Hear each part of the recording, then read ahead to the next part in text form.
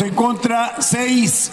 Abstenciones, 10 ha sido aprobada la resolución que declara la vacancia. El Congreso peruano declaró este miércoles con 101 votos la vacancia del cargo de Pedro Castillo como presidente de ese país. La decisión se precipitó luego de que el hasta entonces mandatario anunció su decisión de disolver el legislativo.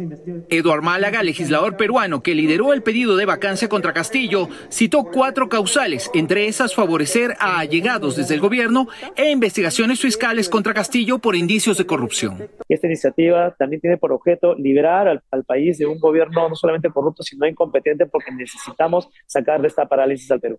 En la mañana y luciendo a ratos nervioso, el mandatario anunció la disolución del legislativo. Habló antes de una nefasta labor obstruccionista de la mayoría de congresistas, que a su criterio creó un caos con el fin de asumir el gobierno, al margen de la voluntad popular y el orden constitucional.